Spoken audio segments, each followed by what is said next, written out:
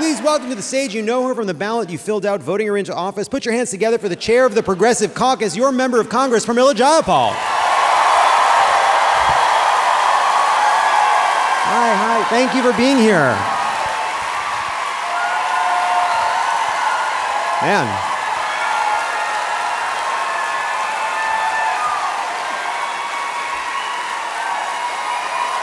Well, I guess you're not going anywhere. Thank you for being here. It is so great to be here. Welcome to Seattle. It's great to be here. I want to start with this. Your sister just announced that she's running for Congress in a city. It's this. Um, it's really a town that thinks it's a city. Uh, it's like basically, yeah. It's it's called Portland. I, I know you're very supportive of your sister, but come on, is there anything you do that she doesn't try to do? Is there? Can't the Congress be your thing? Wasn't Congress your thing? Don't you have one? Can't one thing just be yours? No, it's true. One thing. I mean, I literally said to her, You have so many professions you can be in, but you want to come to Congress? No, I'm really thrilled. She's going to be an amazing member of Congress. I hope you all get to know her. She's wonderful. It's cool. I hope you both get to be in Congress. That'd be so fun.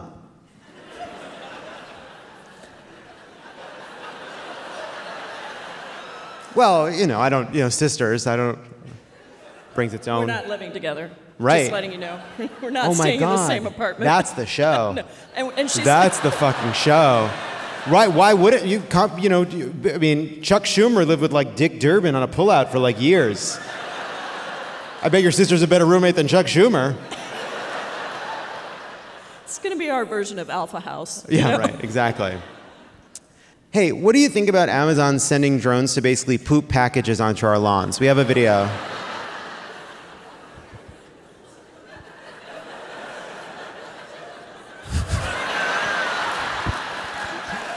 I,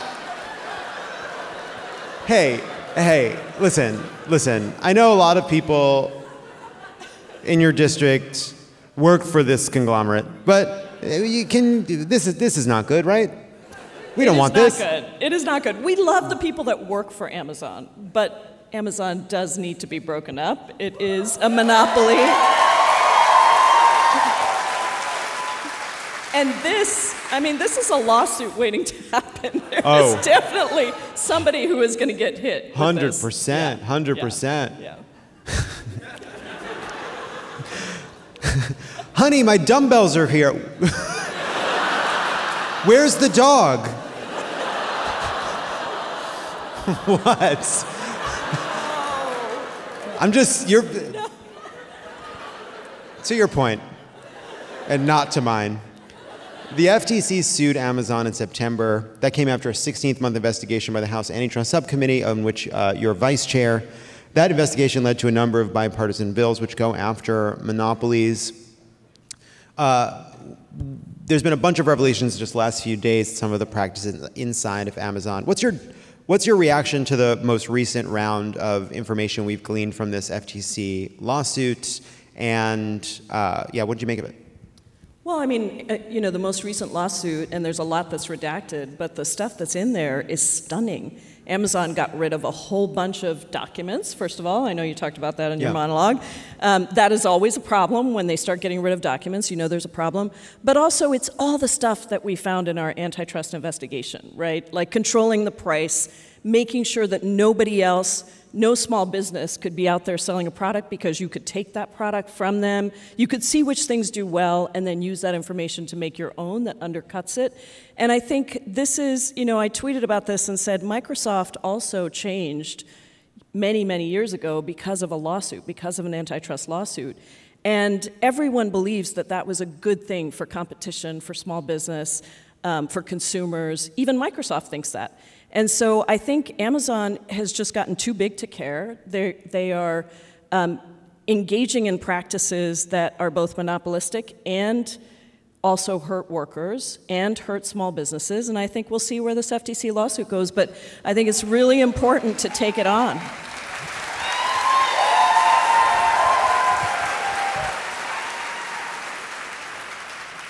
The issue of the anti-competitive practices of big tech companies.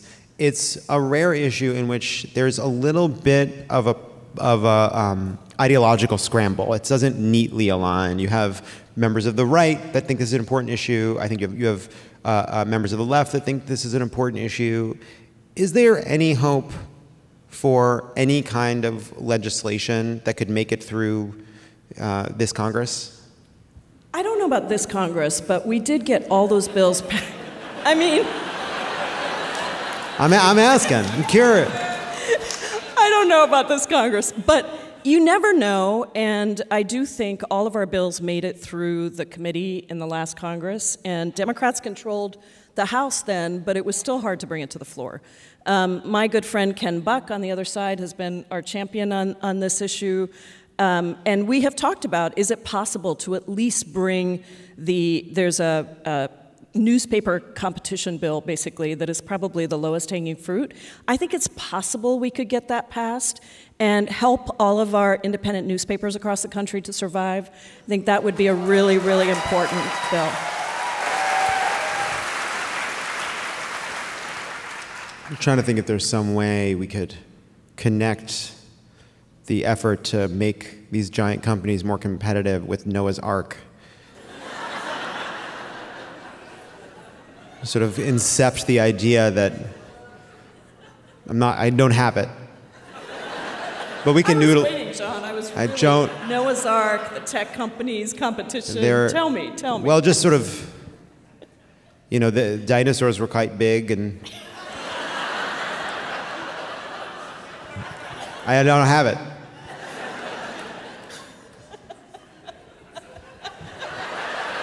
So, we just went through uh, a, a week in which there was a vote to expel Congressman, um, he's also uh, um, the inventor of Beanie Babies, George Santos, your colleague. so that's his pedigree. Um, a lot of the movie Invictus is based on his life. It's a really moving story about people coming together at a difficult time. But there was a vote to expel him that came from New York Republicans that, that failed. There was a resolution by Marjorie Taylor Greene to censure uh, Rashida Tlaib. There was uh, then a, a, competing measure to censure Marjorie Taylor Greene. Uh, is it uh, frustrating to you having all this free time? because we've solved all the problems?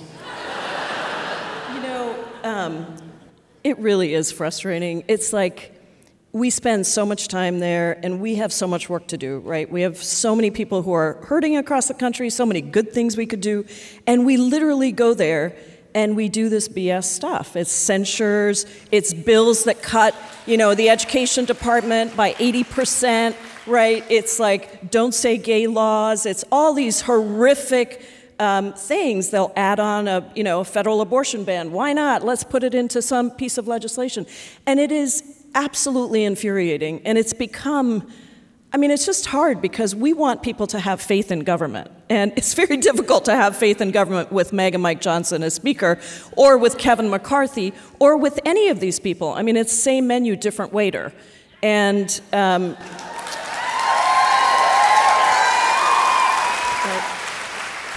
So speaking of the speaking of the menu, and we got to shut this restaurant down, by the way.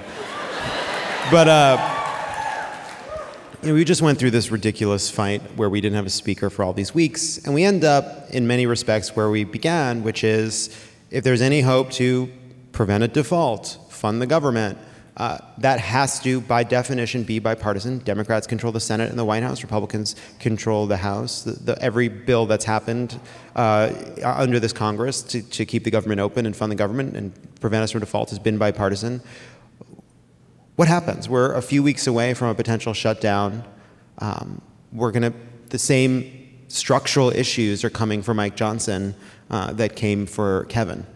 Yeah, because he's also catering to the extreme, well, he is part of that caucus. The Freedom Caucus loves him. They're willing to um, get rid of the motion to vacate, which is that rule that allowed just one single person to get rid of the speaker. They like the speaker, so they want to keep that. Uh, you know, they want to get rid of it now, and they want to keep him. But we're going to have to pass a clean continuing resolution. There's no other way to do it. And so at some point, probably on the 16th, because funding runs out on the 17th, so probably literally on the 17th morning, there will be a big fight, and then right before the government is about to shut down, we will pass a clean continuing resolution. Really, what should happen is the Senate should send us all of this so that they jam us in the House and it's right there and we can just vote on the Senate bill. Because last time what happened is the Senate didn't send us anything and then it got down to the very end and we didn't have anything and so everything just took even longer to get done. No, and I think it's good that this is how we run our country. I, I definitely think that America should basically operate like uh, a small contracting business run by two brothers who fucking hate each other. That's cool. That's how it should be. Just two, just two certified plumbers who can't make eye contact anymore.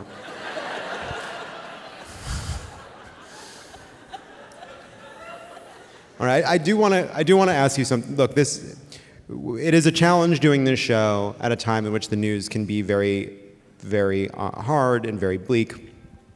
And I did want to talk to you about this because I, I consider you somebody who really thinks a lot about, uh, about how to be a representative of the progressive left in a way that is open, that tries to bring people in.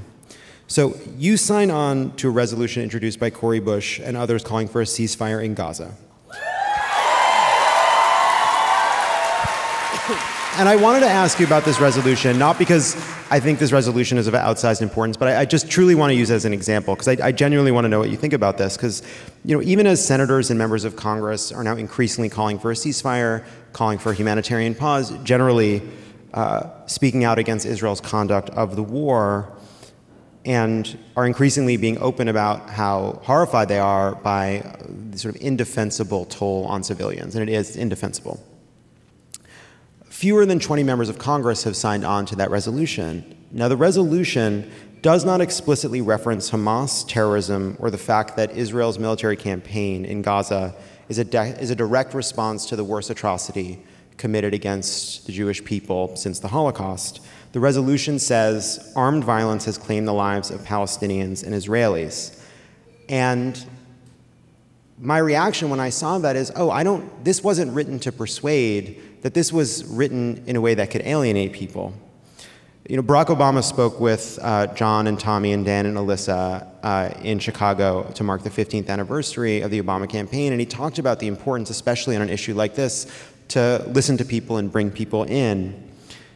Isn't the most powerful way that the left in Congress and in this country can advocate on behalf of the lives of Palestinians, the humanity of Palestinians, is to be in solidarity with your colleagues and with millions of people who are horrified by what's unfolding in Gaza and settler violence in the West Bank, but reject responses, are mistrustful of responses that diminish the humanity and security of Israelis. Yeah, no, I mean, I think this is.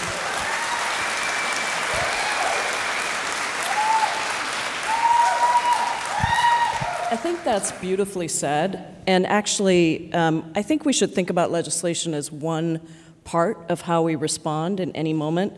So the day before I signed on to the legislation, I issued a statement with six others um, that called for a ceasefire, called for a cessation of hostilities. In that statement, we talked about October 7th. We condemned what Hamas did. We uh, talked about the fact that it was the, the worst um, incident of killing Jews since the Holocaust. We talked about uh, all of the ways, and we, we said Israel has a right to self defense because it, it felt important to contextualize what we were calling for in the universal horrors that are around us. And what happened on October 7th was a horror. And what is happening now in Gaza is an absolute horror. And so you, we wanted to say that we were calling for a ceasefire both because you need to save and by the way, I called for a ceasefire or at minimum a cessation of hostilities because I think this is also something that's not super well known. But a ceasefire is a negotiated agreement. It actually takes often a long time to do a ceasefire. It has many things that have to be a part of it. It usually is about a longer term solution. A, a, cessation of hostilities can happen today. Israel can say today, we're going to cease hostilities. Um, and so it felt important to me to also give that duality to it. But I think that the, the challenge is that it doesn't. Um, you, if you believe in international humanitarian law, that does not look at the justification for why a conflict started. It doesn't look at who was right, who was wrong. It just says we need to minimize the impact on civilian lives.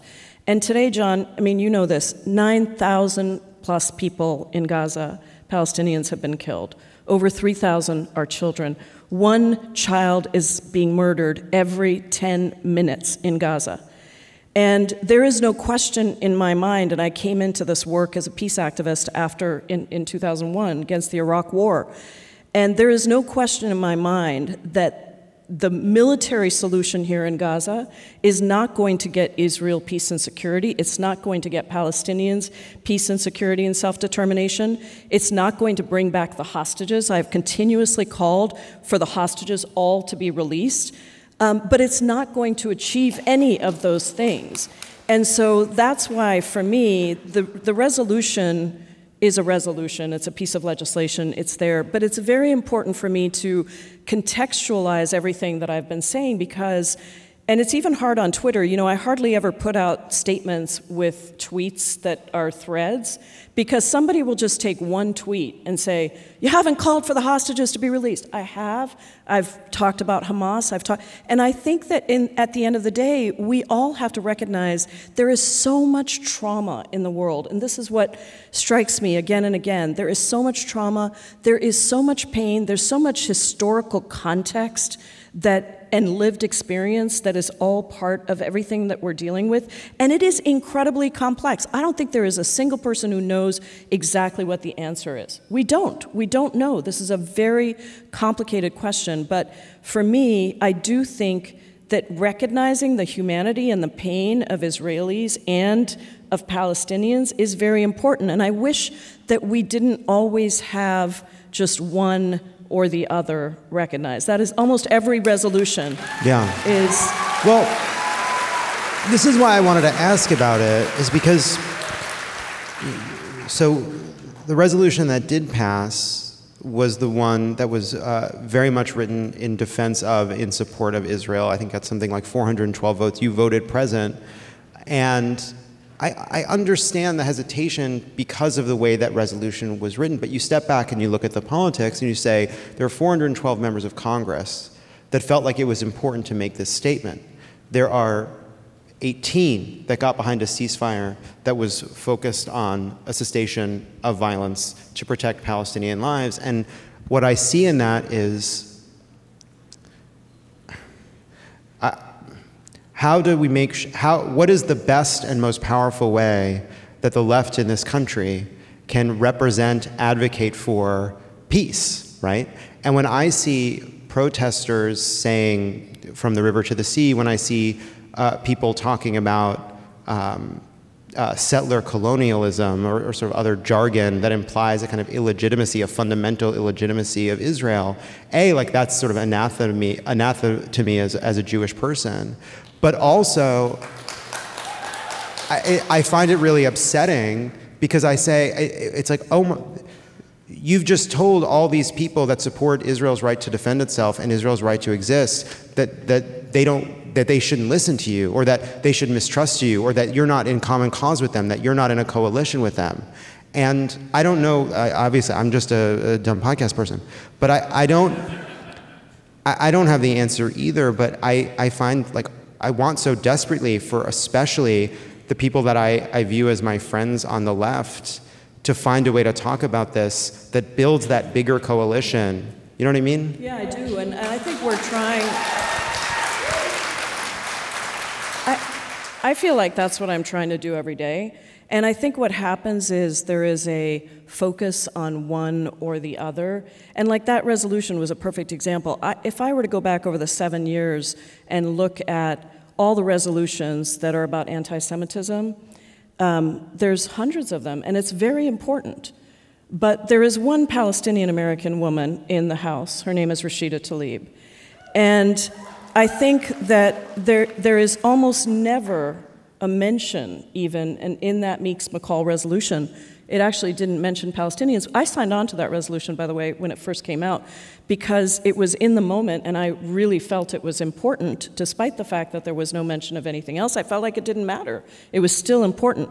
But 18 days later, 6,000 bombs had been dropped on Palestine. That's more bombs in one year, in six days, than we dropped on Afghanistan in 2019 in an entire year. And 6,000 people had already been killed. And so at that point, it felt like part of the problem, fast forward, is that Bibi Netanyahu does not seem to feel any need to stop what he is doing. And the United States is one of the most important partners in that relationship. We give more to Israeli military aid than any country except Israel. So we are the major backer.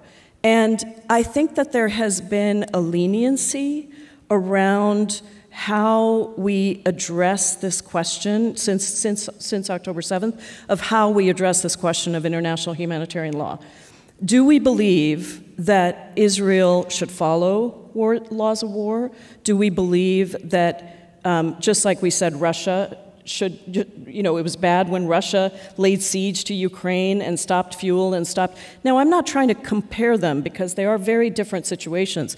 But again, international law does not require that you look at the underlying thing, it's about saving lives. So for the left, I think what we have to do is, first of all, we have to be willing to condemn what Hamas did. We have to be willing to condemn Hamas as a terrorist organization.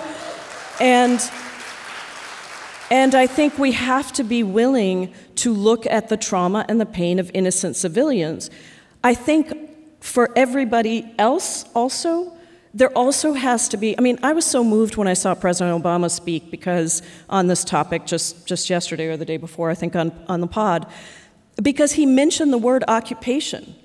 What other president has mentioned the word occupation?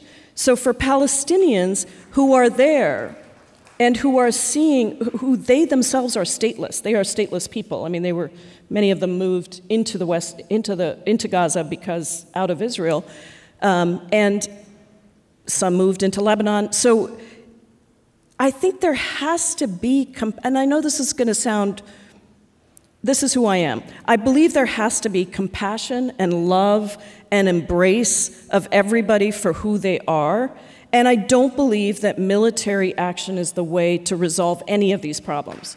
It, it, it just hasn't. Thank you for having that conversation. I'm giving, we're gonna, we're just changing gears. Just as much as humans can change gears, we're about to do it. Everybody, shit, we're doing it. I'm doing it right now. We're gonna, everybody, okay? All right. The gears have changed. it's time for 24 hours in Seattle. All right, here's how this works. Uh, you're the expert on Seattle. I'm just a visitor who saw Frasier. Would you come with me to Pike Place Market at dawn and use your personal warmth and political clout to get them to let me throw a fish?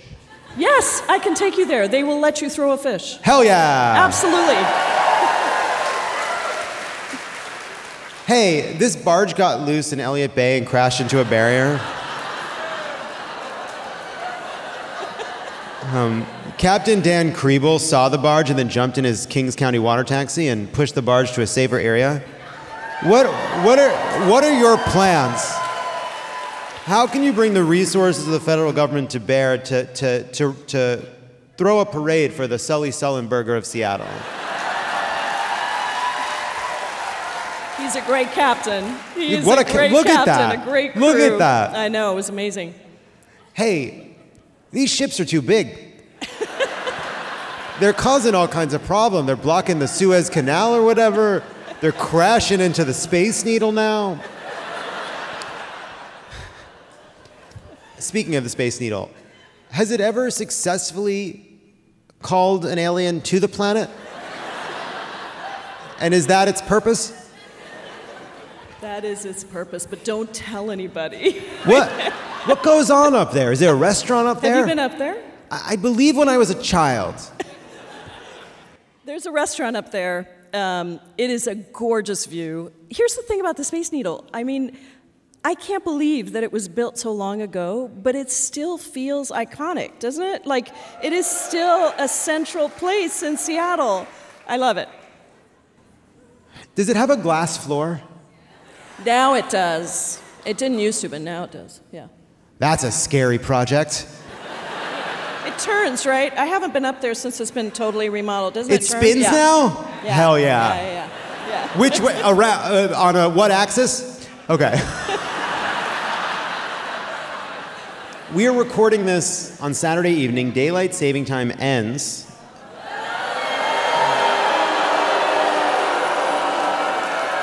So we get an extra hour of sleep, but now the morning people, they get an extra hour of sunlight in the morning, and and the and the and the cool people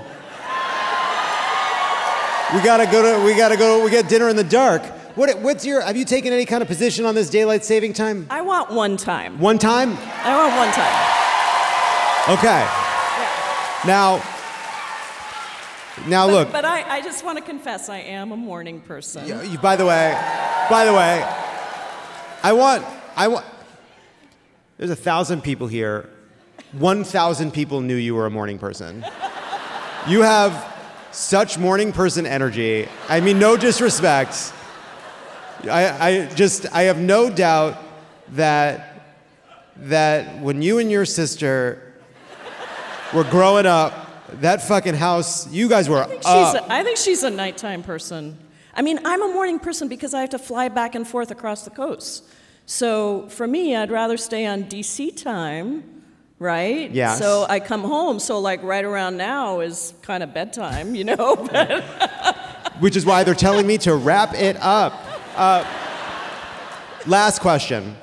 You, you represent Seattle. Your sister is running to represent Portland. I'd like to get a rivalry going. Can we just shit talk Portland for two minutes?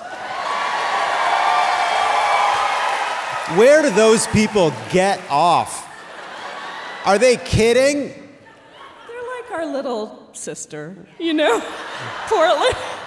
Portland is like the little sister. I mean, they got cute neighborhoods, you know? I like that. They That was have, like, patronizing. sweet little neighborhoods. They've got good food trucks. But I mean, we're Seattle, and Seattle rules. And the thing about the thing about a Portland food truck, it's two hours away from being a Seattle food truck. You know what I'm saying? Exactly. Exactly.